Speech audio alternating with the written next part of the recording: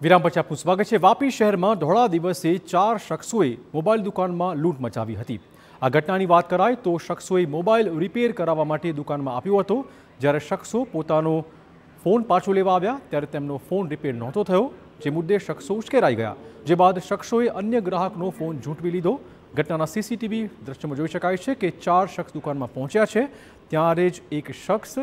ગ્રાહક પાસેથી મોબાઈલ છૂટ છીનવી લે છે આ શખ્સ મોબાઈલ લઈને હળવેથી પાછળ ખસી જાય છે દરમિયાનમાં અન્ય એક શખ્સે મોબાઈલ લઈને ખિસ્સામાં મૂકી દે છે જો કે ટેબલ પાસે ઊભેલો અન્ય એક શખ્સ રિપેરમાં આપેલો પોતાનો મોબાઈલ માંગે છે દરમિયાનમાં દુકાનદાર સાથે માથાકૂટ થઈ રહી છે જો જોતામાં જ શખ્સ અને દુકાનધારક વચ્ચેની વાતચીત ઉગ્ર બોલચાલીમાં ફેરવાઈ જાય છે આ દરમિયાનમાં શખ્સો દુકાનના દરવાજા પાસે ઊભેલા એક આધેડને પણ જોરદાર ધક્કો મારે છે અને ફરાર થઈ જાય છે જોકે દુકાનદારે સમગ્ર ઘટના મુદ્દે પોલીસમાં ફરિયાદ કરી છે જે બાદ ચારેય શખ્સોની ધરપકડ કરી લેવાઈ છે આ શખ્સો દમણના રહેવાસી હોવાની વિગતો સામે આવી છે.